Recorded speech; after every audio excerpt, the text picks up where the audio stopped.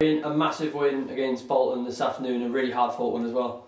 Yeah, um, brilliant team performance uh, from start to finish. I thought we were excellent, and yeah, massive result really for us.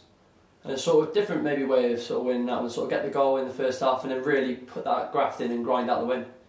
I thought I thought our shape without the ball was brilliant from the whole way through the game. I thought it gave us a good platform to play. I thought the, the goal we score is a, is a great goal, really really well worked goal. We had a big chance before that with Armani Little, um, but without the ball, yeah, and I thought our shape was good. Second half we fell a little bit deeper, which is is normal.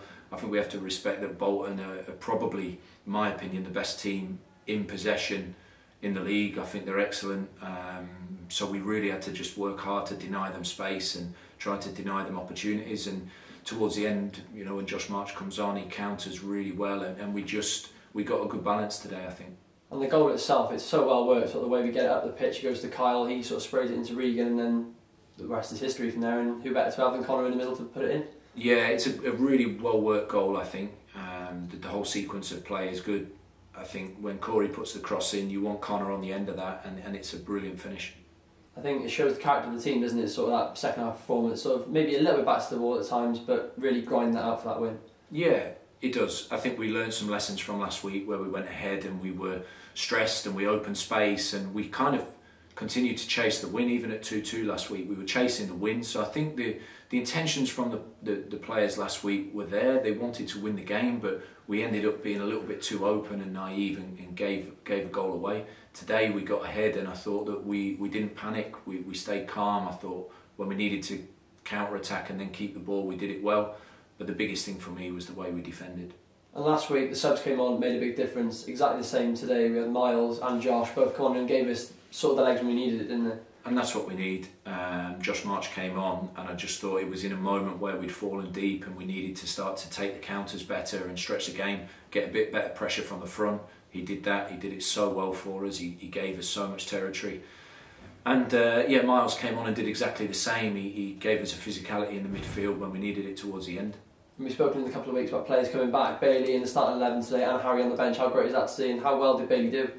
Oh, he was brilliant. He was brilliant. He's had a week's training. He came back and he, he gave us a balance in there and, a, um, and an experience to the back line that, of course, we've missed. We've looked a little bit unbalanced at times with the way we've been, but um, I think Baily coming back in was, was huge for us. Um, we saw the, the quality that he had early in the season, and then you know to miss him for so long has been hard. But having him back today was uh, was a big plus. Harry didn't get on today; it wasn't the right moment for him, but he's raring to go and he's going to add something as well. So I think it's a great sign that they're they're in a good place.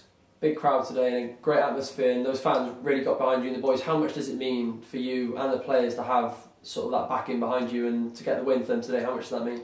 Yeah, you know we're working really hard for it all the time. I know that um, we've had criticism, and, and certainly I know I've heard it that there's been criticism towards me. You have to accept it sometimes as a manager, but we also have to have a bit of context around where the team's at in the moment everybody wants to do well and win games. We don't want to not perform like we did today. Um, but if we are underperforming, all I'd say is just keep getting behind us because the players feel it on the pitch and I feel it on the touchline and it matters a lot to us that the atmosphere was like it was today. I felt that you know they, they helped us so much in key moments to keep the momentum and and like we can't do without that. You know we know that we're going to have some difficult periods and some tough games um, and it won't always go our way, our way. But if we can keep everybody with us, it's going to be huge for us. And it's a massive three points and a bit of momentum now to take into Peterborough on Tuesday night. Yeah, it doesn't get any easier. I just said to the players they can enjoy it, but not for too long because um, because we have to go away to Peterborough now, and we know that they're also a, a top team in the division. So you know we can't really get we can't feel like we're comfortable at any moment. We've got to just focus on that now and not get ahead of ourselves. We have to try and follow a win up with another good performance, and um, hopefully we can do that.